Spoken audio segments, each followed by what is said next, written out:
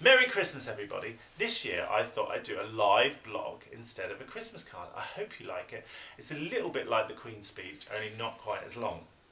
Anyway, um, haven't we had a fantastic year with five months of touring with Strictly and then a whole new Strictly Come Dancing this year? New format, new set, absolutely brilliant.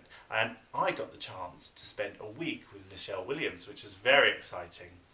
I'd like to say congratulations to Kara and Artem for winning.